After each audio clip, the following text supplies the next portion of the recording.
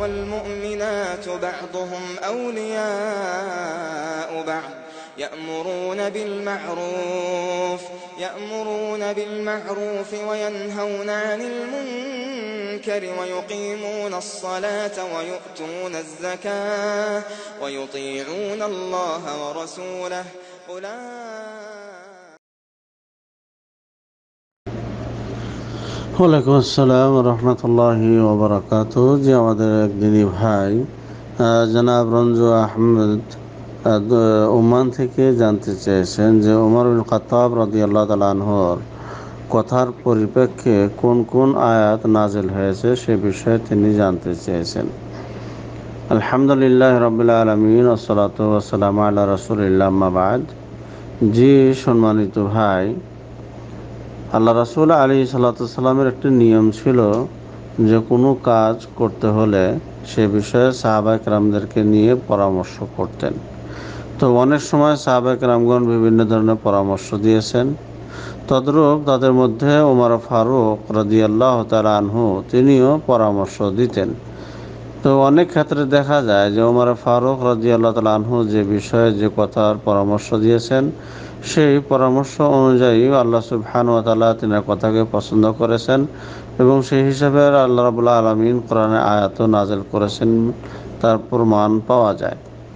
যেমন একটি বিষয়ে আল্লাহ রসুল আলী সালাতাম ওমর ফারুক রাজিউল্লাহ তালাহু আল্লাহ রসুল আলী সাল্লাতামকে এই পরামর্শ দিলেন কথার ইঙ্গিতে জানালেন যে, হে আল্লাহ রাসুল, আপনি যদি মাকামে ইব্রাহিমে নামাজ পড়তেন তো কতই না ভালো হতো।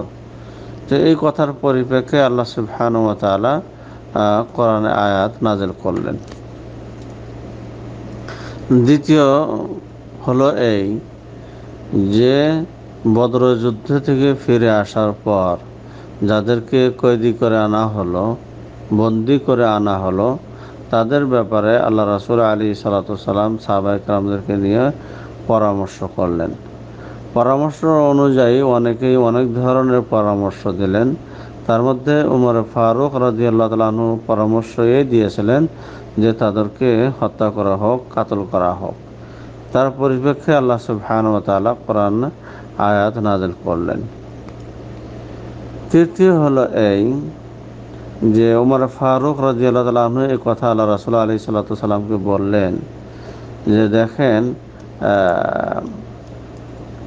অনেক সময় দেখা যায় যে নেককার হে আল্লাহ রাসুল, আপনার কাছে নেককার বদকার সব রকমের মানুষই আসা যাওয়া করে। তাই আপনি যদি উমুল মুমিনদেরকে পর্দা করার আদেশ করতেন, তাহলে কতই না ভালো হতো। এর পরিপক্ষে আল্লাহ সুবহান তালা পর্দার আয়াত নাজল করলেন। চতুর্থ হলো এই যে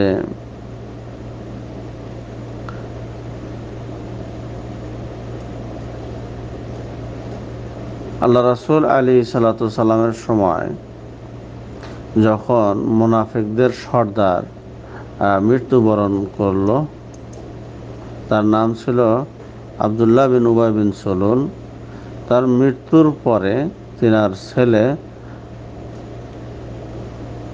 আবদুল্লাহ ইবনে আবদুল্লাহ আল্লাহ রাসুল আলী সাল্লামের কাছে আসলেন এবং তার পিতার কাফনের জন্য রসুল সাল্লাহ সাল্লামের জামাটি চাইলেন।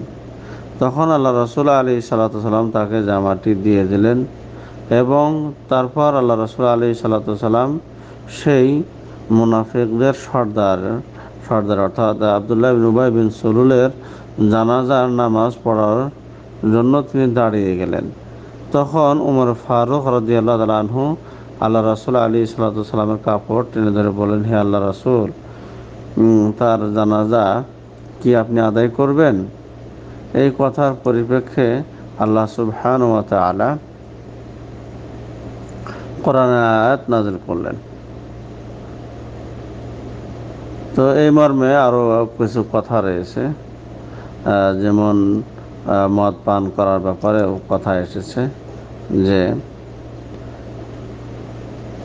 উমর ফারুক রদি আল্লাহ তালানহু তার মনে সবসময় এটা চাইতো যে মদটা যদি হারাম হয়ে যেত বা আল্লাহ রাবুল্লাহ আলমী যদি হারাম করতেন।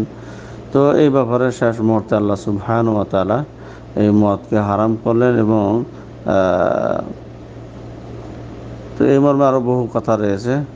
তো মোট কথা হলো এই এই ধরনের বিশেষ বিশেষ কাজের ফলে ওমর ফারুক রাজি আল্লাহ তালা আনহু আল্লাহ রাসুল্লাহ আলি সাল্লাতামকে পরামর্শ দিতেন এবং সেই পরামর্শ রবুল্লা আলমিন পছন্দ করেন এবং সেই অনুযায়ী রবুল্লা আলমিন কোরআনে আয়াত নাজিল করলেন।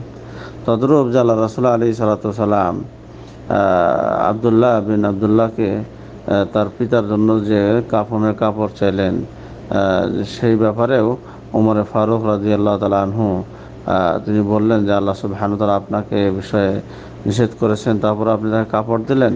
তো এই ক্ষেত্রেও দেখা যায় যে আল্লাহ সুবহান তালা কোরআনে আয়াত নাজেল করেছেন। আরও একটি ক্ষেত্রে দেখা যায় যে আল্লাহ সুবহান তালা যখন এই আয়াতটি নাজল করলেন আল্লাহ কদ খালাক নাল ইনসান আমিন সুলারতিমিন তুইন ইলা আখিল আয়া তখন উমর ফারুক রাজি আল্লাহ তালা আনহু বললেন, তাবারাকাল্লাহ আহসানুল খালিকিন এই কথা শুনে আল্লাহ সুবহান ও তাআলা তখন এই আয়াতটি নাযিল করলেন, ফাতাবারাকাল্লাহ আহসানুল খালিকিন তো এই ছিল বেশ কিছু জায়গা, যে ক্ষেত্রে আল্লাহ সুবহান ও তাআলা উমর ফারুক রাজি আল্লাহ তালা আনহর রায়ের উপরে বা তিনার রায়কে, পরামর্শকে পছন্দ করেছেন এবং সেই অনুযায়ী আল্লাহ সুবহান তালা কোরআনে আয়াত অবতীর্ণ করেছেন। বাকি, আল্লাহ আলম সালাম আলাইকুম রহমতুল্লাহি ওবরাকাতু